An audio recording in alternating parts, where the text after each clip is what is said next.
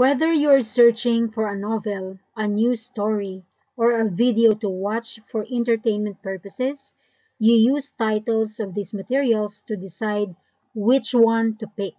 A good title could always attract your attention. The same goes with research titles. In this video, I would like to share with you tips on what makes a good research title. Stay tuned if you want to know how to make an appealing title for your target audience.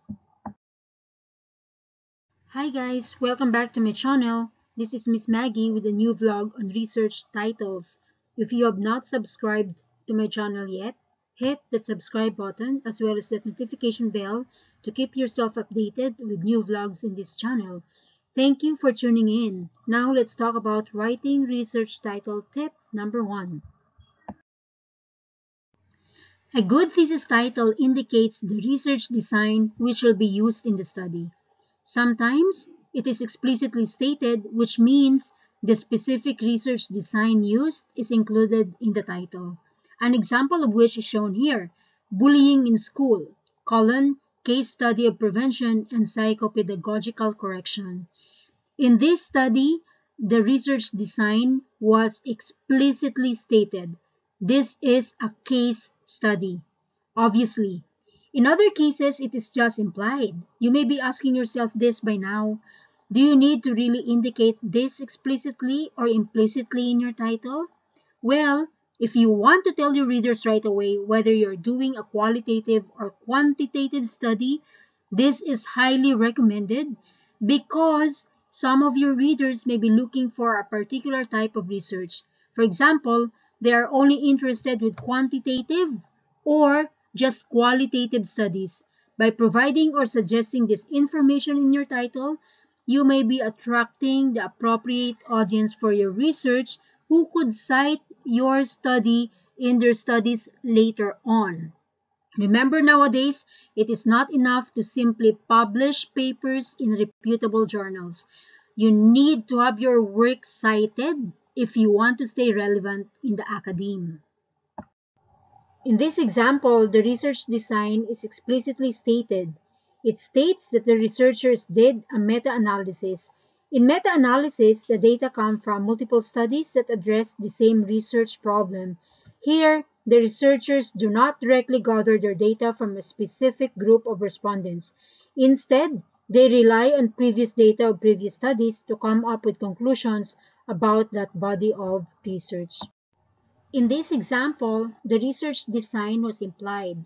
The word correlates signifies that the researchers did a quantitative analysis of their data because correlates connotes a relationship between or among variables.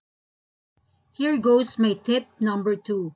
A good thesis title includes the key variables of your study so remember the independent and dependent variables that we talked about last time.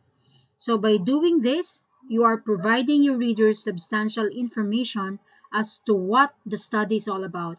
This is very important because some readers do not have time to check your abstract to know what variables you have explored in your research.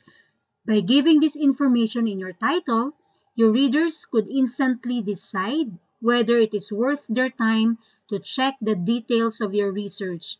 Why do you need to make life easier for your readers? Well, there are millions of studies available online and offline.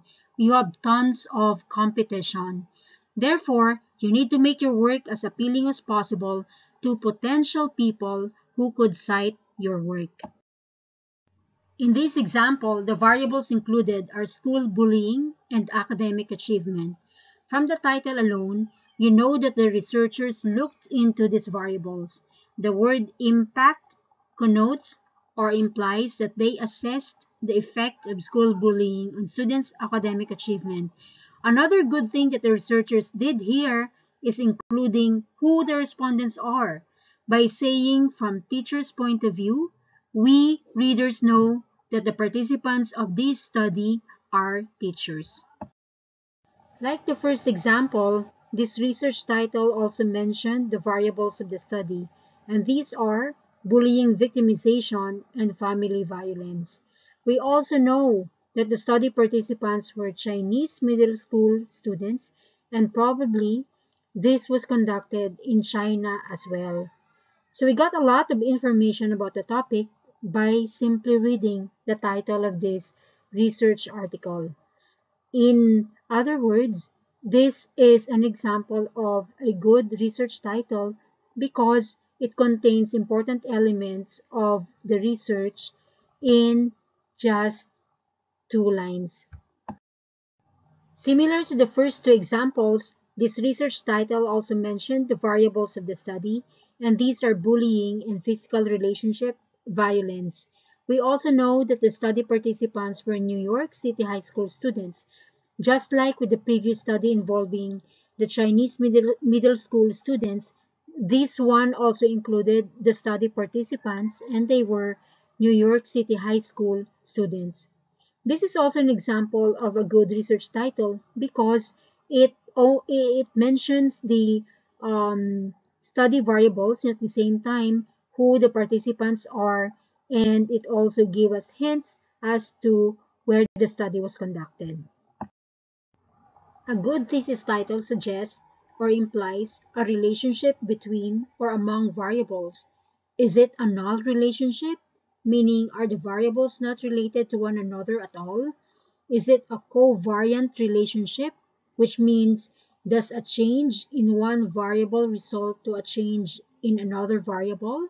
Does it imply a causal relationship, which means does one variable causes the other variable? And in addition, does one variable predict the occurrence of another variable? This criteria or criterion is applicable to quantitative research. Simply by reading the title, we know that the researchers looked into the relationship between the quality of life, school bullying, and suicide among adolescents with attention deficit hyperactivity disorder. The word correlations in the title is an explicit expression of what the authors of this article did for their data analysis. This is obviously a quantitative study. In this example, the variables of the study are depressive symptoms, suicidality, bullying involvement, frustration intolerance, and hostility. The word rows after the colon suggested relationships of the variables that followed with depressive symptoms, and suicidality. Just like with the other examples, this also indicated the variables relationships with one another. So in this particular criterion, this research title satisfies the given requirement because it shows the relationship of variables with one another. You must understand that a thesis title is usually expressed as a phrase or question, but rarely as an exclamatory sentence.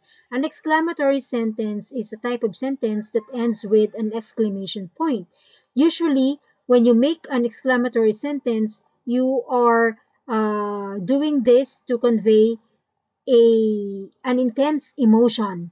And in a research title, usually you don't see one although there's no rule that says you cannot make an exclamatory sentence as your research title.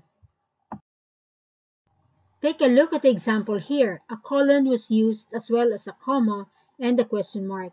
The first two punctuation marks, a colon and a comma, are often seen in research titles. However, a question mark in an empirical research title is a rare occurrence. In this example, the question mark clarifies what the focus is all about. It also deviates from the usual boring way of expressing titles. As I mentioned a while ago, a colon is usually used to call readers' attention to a particular element of a research done by the authors. It helps us understand instantly what researchers did in the study. Take a look at this example, the effectiveness of policy interventions for school bullying, colon, a systematic review. If you are like me, the first thing you would notice is the phrase after the colon, a systematic review. A systematic review, for those who are not familiar with the terminology, is a type of literature review wherein a specific set of criteria is used to decide on the inclusion of certain studies. For example, you would say you will only include quantitative studies about school bullying done in Southeast Asia in the last five years.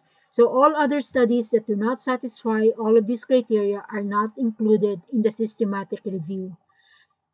This title, The Effectiveness of Policy Interventions for School Bullying, colon, a systematic review, is a good title because at a glance you would know that the study is a literature review. Therefore, if you are looking for an empirical research, the one in which data were gathered directly by the researchers themselves, then you could decide right away to skip this article after reading the title. The last tip that I will share with you today on how to make good research titles has to do with the length of your title.